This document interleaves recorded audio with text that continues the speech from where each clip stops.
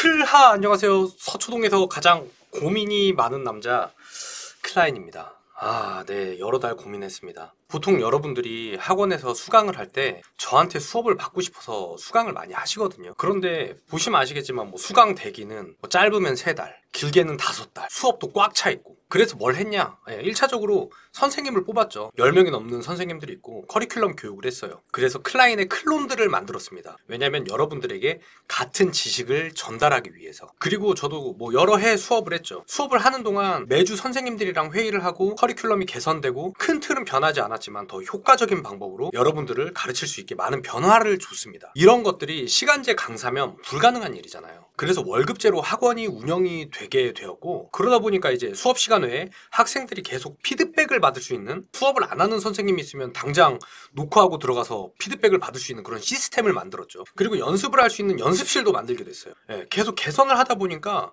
학원이 점점 커졌습니다. 왜 유명해졌는지 모르겠는데 구독자 수에 비해 좀 유명한 것 같아요. 그러고 나니까 뭐 부산, 대전, 대구, 코로나 전에는 중국, 일본, 뭐 지구 반대편에서까지 뭐 비행기 타고 배우러 오는 사람들이 생겼어요.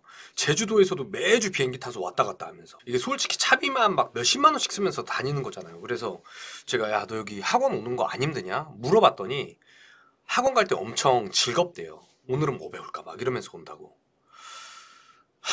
뭐 또 네이버 카페 차비랑 시간이 너무 부담된다고 혹시 선생님한테 배운 제자라도 소개시켜 달라고 뭐 그러는 경우도 있더라고요. 근데 이거는 제가 소개를 만약에 시켜줘도 책임을 질 수가 없잖아.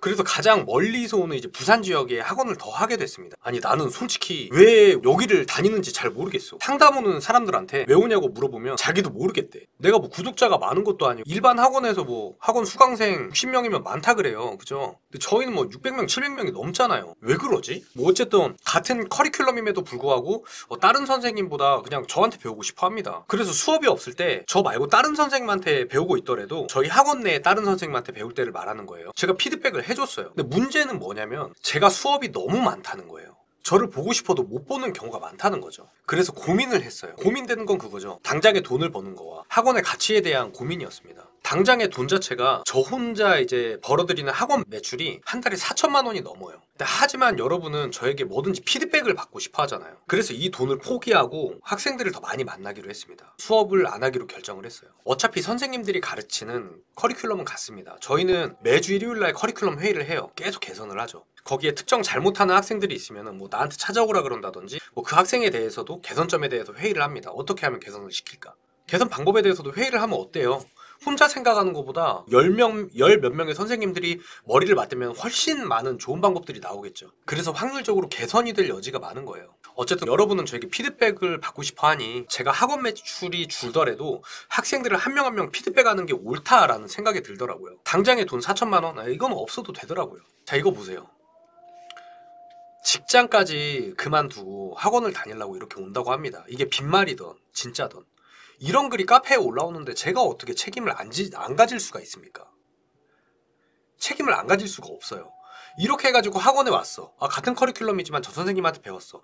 근데 뭔가 클라인 선생님한테 피드백을 받고 싶어. 근데 클라인 선생님은 바빠. 왜냐면 학원 매출을 올리기 위해서. 그래서 저는 학원 매출을 포기하겠다는 거예요. 그래서 지금 제 수업을 다 줄이고 있습니다. 수강 대기를 한 학생들은 제가 다 가르칠 거예요. 하지만 이제 시간이 지나면서 피드백하는 날짜가 더 많이 늘겠죠. 이렇게 학원 카페 이런 게시판을 만들었어요. 여기서 제가 예를 들어 몇 월 며칠 부산에 있다. 몇 월 며칠 서울에 있다. 몇 시부터 몇 시까지 제가 피드백을 하겠습니다. 하면은 그냥 저희는 문 밖에서 안이 보이잖아요.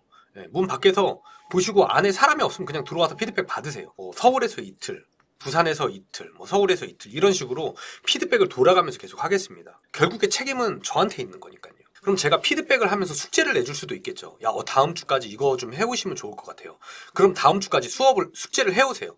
그러면은 음, 사목타부 장인에 내가 다녀. 평일에 뭐 월요일 날 수업을 해. 이 숙제를 해. 그리고 수요일 날은 와서 클라인 선생님한테 피드백 받아. 어떻게 생각하면 기본 수강하는 교육하는 수업 외에 추가로 수업을 더 할 수 있다고 생각하면 여러분들은 개이득인 부분입니다.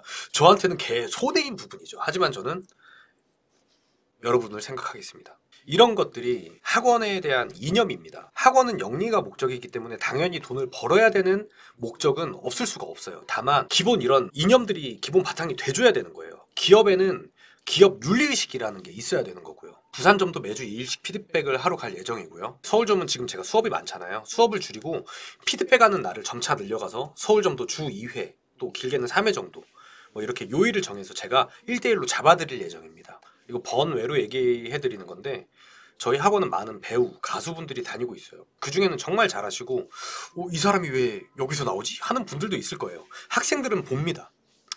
하지만 그분들도 똑같이 수강 대기하고 여러분이랑 같은 돈 내고 심지어 여러분이랑 같이 앉아서 배웁니다. 상담하고 싶어서 2주 동안 대기하고 수강 대기 5개월씩 하고 그렇게 다니는 가, 가수분들도 계세요. 학원을 다녀간 수많은 가수들이 있어도 뭔가 그 가수를 홍보를 하지 않았어요. 왜냐면은 저는 같은 돈을 받고 같은 수업을 하기 때문입니다. 연예인에 대한 뭔가 특별 대우는 없는 거예요. 저한테는 다 같은 학생일 뿐인 거예요. 이런 학원 이념. 아, 마지막으로 이 제 수강 스케줄 아까 말한 것처럼 이거 피드백 받으시는 거 보시려면은 수강생 여러분들은 네이버 카페 사목타부장인 검색해서 다 가입해 주시고 뭐이 이 게시판에는 알람을 설정해 놓으세요. 그러면 피드백에서 만나요. 클바.